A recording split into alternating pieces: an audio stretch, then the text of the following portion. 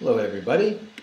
In this tutorial I'm going to show you how to make an embedded YouTube video dynamically resize for a responsive design so that it looks correct when it goes down to mobile width. I'm Mike Levin from MikeLevinSEO.com and when last we left off I was editing the base.html file which is the template file from which all the other files on my site are going to inherit. So anything I do here applies to all the rest of my site.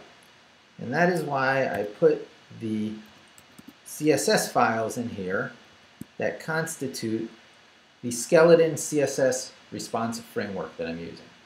And I'm going to put my own file for the customizations I'm about to add and I'm going to do that by yank yank, paste, slash layout, delete word, insert, custom.css.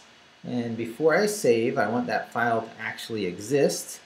Escape, colon, tab E, custom.css.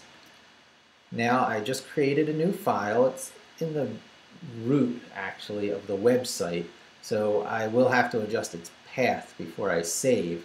And then I'll probably later put it into the same style sheet subdirectory as skeletons. But for now we got it working. So uh, the file exists. I'm going to save it.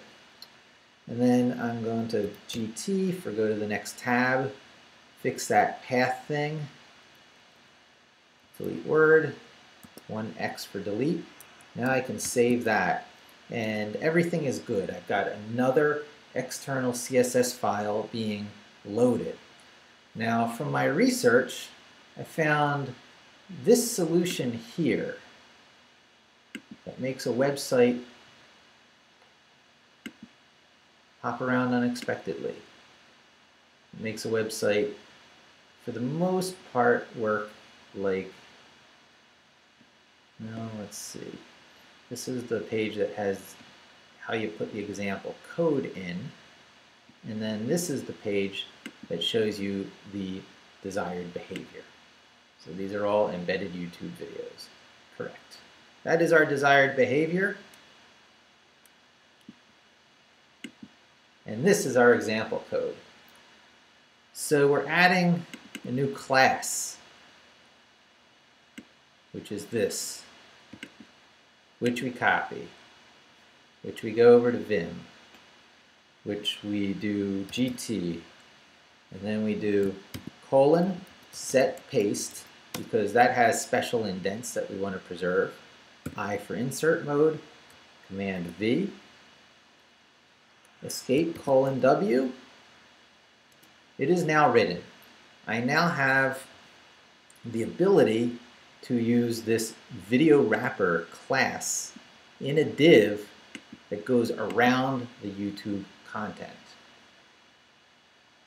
I'm going to have to do that in index.html because my embedded YouTube is considered part of the page content and not the template.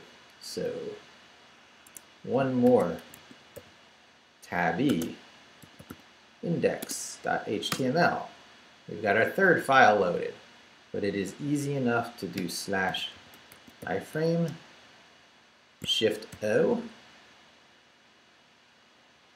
flower V, escape, shift G, O, and div. Escape colon W should be that easy. Let us find out if it was. Okay, it looks like it's the full width of the column that I had defined. And now I shall resize it down.